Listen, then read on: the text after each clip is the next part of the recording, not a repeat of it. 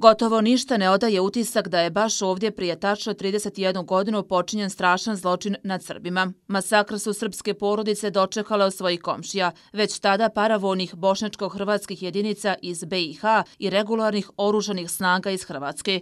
Članovi porodica Martić i Dujanić ubijeni su 25. marta 1992. godine u Brodu, a već sutradan dogodio se pokolju Sjekovcu. U jednom danu Milji Zečević ubijeni su sinovi Petar, Milan i Vaso i suprug Jovan. Sve je gledala svojim očima. Njena snajka, a Milanova supruga Jelica Zečević jedva je izvukla živu glavu. Nemoćne da bilo šta učine, danas svjedoče o užasu tog 26. marta 1992. godine šutim i sjedim e tu. Nešto. Jeste, on je se ono bio zauzeo. Ajoj. Mi danas sam sjela ovdje i kažem, e, Bože moj, dragi, moj Branka nema, pa da vidi kakav je život sad. To je moj sin. I to je tako, sjed ovako sama ko ludača, niš drugo, šta ću. Ne mogu djeca sjeti s menom djeca moraju te u školu, te što kaže jedni na posao i tam. To ne mora usjeti sam, sjed, šut, sama i tako. To je tako, moja sudbina. Oni su došli te hurne, su došli iz Hrvatske, te vojske domaći i doveli sa čarapama na glavu, i pobjegli od granata u podrum. Posle sam se isterivat, mu svaku muško je udarala, muško je na kundak dočekivan, na mene je vodala, tijelo me pod benzinom, tijelo me silovat, Bog me ostavio da ja svjedočim da, da narod, da, ko ima uši da čuje.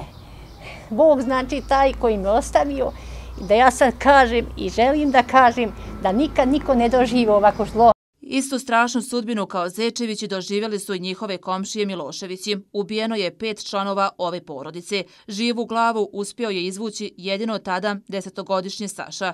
Zečevići i Miloševići nisu jedine žrtve. U toku rata ubijeno je 46 srpskih civila iz ovog sela. Ubijenima u Sijekovcu služen je parasos u crkvi Svete velikomučenice Ognjene Marije, a potom su na spomen krst položeni vijenci. Samo jedan od zločinaca, Zemir Kovačević, osuđen je i to na 10 godina zatvora. Ovdje na ovom mjestu je napravljen jedan veliki masovni zločin nad civilima. Prvi u na početku rata koji, koji nas je nažalost zadesio. E, to je bilo još jedan od dokaza koliko mi treba da, da čuvamo, da pazimo i da branimo Republiku Srpsku a, sad u miru, onako kako smo je sa puškom u ruci odbranili tokom rata. Nažalost imamo samo ovu jednu presudu, više niko nije odgovarao za ovaj zločin.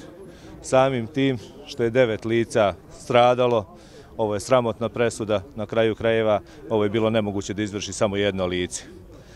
Također, ono što moramo da znamo jeste to da je jedini garant neponavljanja ovih zločina Republika Srpska i da Srbi svaki put kada nisu imali svoju državu i kada nisu bili zaštićeni, bile su žrtve genocida. Njegojući kulturu sjećanja u Republici Srpskoj, a posebno se sjećajući onih nevinih žrtava koje nisu nikome bila prijetnja i koje nikoga nisu izazvale, koji su nerožan življu u svojim kućama da bi ih e, vojska susjedne države na kućnom pragu pobila i uništila njih i njihove porodice i njihove živote i njihovu budućnost. Pokazujemo da smo ljudi koji znaju kolika je cijena Republike Srpske i želimo da podsjetimo da u viteškim bitkama Srbi nisu izgubili ni na koridoru, ni u brodu i da je zato brod u Republici Srpskoj. Nama je Sjekovac svaki dan. Poručio je to načelik broda Zoran Vidić, naglašavajući da niko nije adekvatno odgovarao za ovaj zločin. Trudit ćemo se da održavamo ovo spomen obilježje, ali prvenstveno apel da i mi živi, a i naše žrtve nađu pravdu i da odgovorni odgovaraju. Samo deset godina zatvora za ovako stravične zločine je jedno veliko poniženje. Naravno, žrtve ne, ne mogu dočekati pravdu, a pitanje je ovim tempom kako rade sudovi, da li ćemo i mi živi da dočekamo pravdu. Kao znak protesta zbog jučerašnjeg dolaska predsjednika Hrvatske Zorana Milanovića u Dervintu, nakon čega se samo 500 metara od ovog mjesta Milanović sastavio sa načelikom broda, boračka organizacija Brod nije učestvovala u pomenu sa ostalim zvaničicima. U ime e, predsjednika e, Radana Ostojića, zbog e, jučerašnjih dešavanja E, na prostoru opštine i Broda i Dervente. E, boračka organizacija Republike Srpske i njen predsjednik Kostović smo, donijeli smo odluku da danas e, nećemo prisustavati ovdje pomen Parastosu, svijekovaškim žrtvama.